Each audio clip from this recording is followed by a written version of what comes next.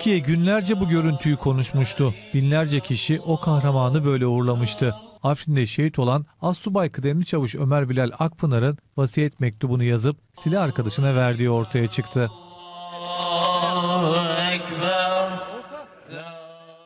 Kardeşim bu savaş haç ile hilalin, imanla inkarın, hak ile batılı küfür ve tevhidin savaşıdır. O yüzden anneme, babama, kardeşime, Nur'a söyleyin. Üzülmesinler kesinlikle hayatlarının geri kalanını rahat geçirsinler. Anneme o istediği eve alsınlar.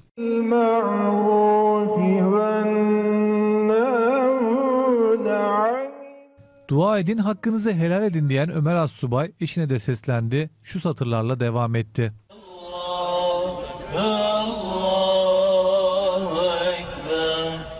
Nur'a söyleyin ben ona doyamadım. Üzülmesin öbür tarafta birbirimize kavuşacağız inşallah. Beraber planladığımız gezilecek yerleri geçsin.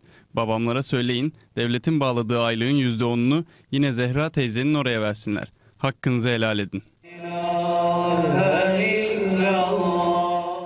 Afrin şehitlerinden sözleşmeli Er Sergen Pamukçu'nun da ağabeyi Selahattin Pamukçu'ya bir vasiyeti vardı.